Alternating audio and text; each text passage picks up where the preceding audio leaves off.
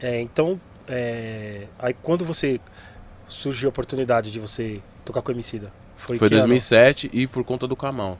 Sim.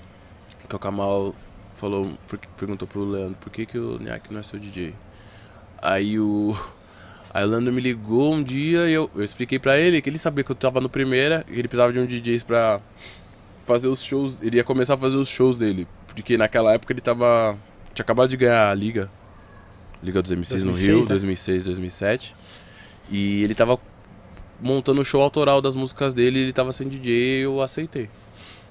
E foi, mano. Eu, tamo aí até hoje, graças Sim. a Deus. Você esperava.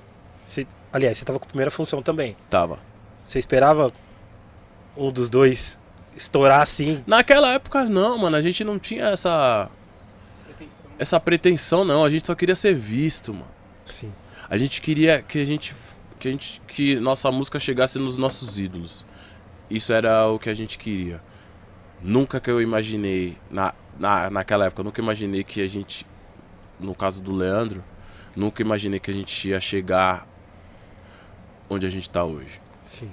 E eu digo não só como o MC da artista e eu como DJ, como um todo mesmo, tá ligado? Sim, sim. Pra cultura. Porque hoje, hoje, hoje eu, eu sou referência para uma parte de gente. Uhum. E lidar com isso é muito estranho para mim, porque eu não sei lidar. Quando a galera me pedir foto, essas coisas, eu sou muito tímido, mano. E às vezes passa, soa como se eu fosse meio Marra. arrogante. Sim. Marra. Pô, e não que nem é, tirou cara. foto, mano. Não, eu até tiro, mas o jeito que, tipo, eu tomo até. Tipo, caralho, tô sendo reconhecido na rua. Tipo, uns anos atrás eu fui reconhecido nos Estados, nos Estados Unidos, um Sim. cara da Angola falou, mano, você é o DJ Neck. Eu falei, porra, caralho, mano. O maluco da Angola me reconheceu aqui Sim. nos Estados Unidos. Sim. Então é muito surreal para mim. É. Essa fita.